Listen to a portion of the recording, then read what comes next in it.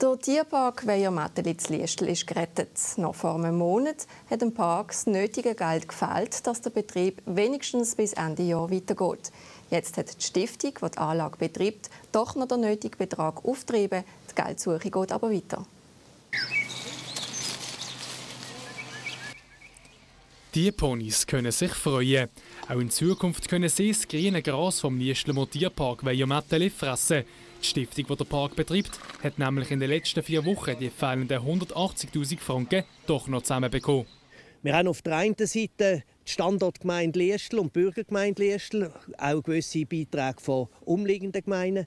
Wir haben ein Patenschaftskonzept mit Gold-, Silber- und Bronzepatenschaften. Da haben wir etwa 300 Leute, die das schon gezeichnet haben, die insgesamt uns etwa 40'000 äh, Franken bringen. Heute am Morgen am Gönnerapero hat der Charlie Nordmann verkündet, dass der Park gerettet ist. Das aber nicht definitiv, sondern nur bis Ende 2013.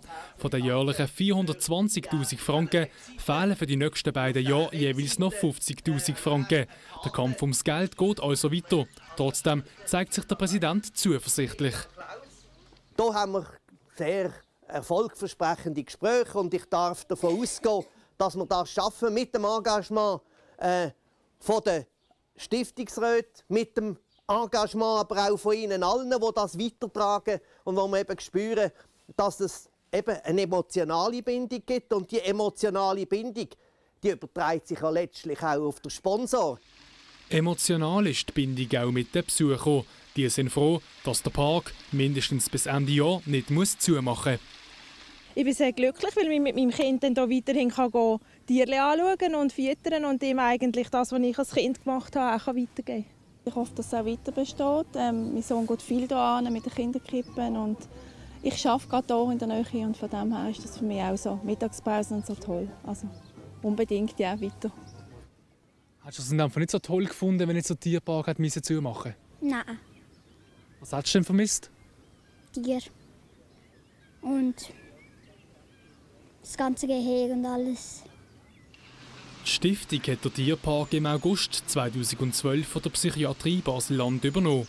Die hat im Rahmen von der Spitalfinanzierung den Tierpark ausgelagert. Mit 170.000 Franken pro Jahr ist sie aber immer noch der grösste Geldgeber.